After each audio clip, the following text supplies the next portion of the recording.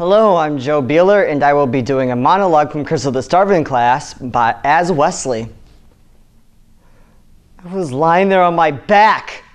I could smell the avocado blossoms. I could hear the coyotes. I could hear the stock car squealing down the street. I could feel myself in my bed, in my room, in this house, in this town, in this state, in this country. I could feel this country like it was part of my bones. I could feel the presence of people outside at night in the dark. Even sleeping people I could feel. Even all the sleeping animals dogs, peacocks, bulls, even tractors sitting in their wetness waiting for the sun to come up. I was looking straight up at all my model airplanes hanging by their thin metal wires, floating, swaying very quietly as if blown by someone's breath.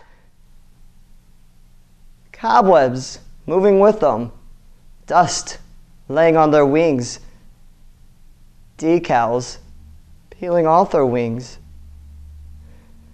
My P 39, my Mint, my Jap Zero.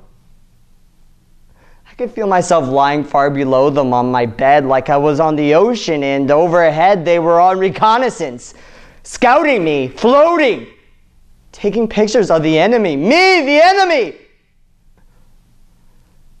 Could feel the space around me like a big black world. I listened like an animal. My listening was afraid, afraid of sound, tense, like any second something could invade me, some foreigner, something indescribable.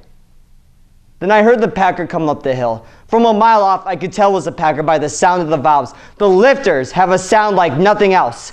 Then I picture my dad driving it shifting unconsciously, downshifting into second for the final pull up the hill. I could feel the headlights closing in on me, cutting through the orchard. I could see the trees being lit one after the other by the lights, then going back to black. My heart was pounding just from my dad coming back.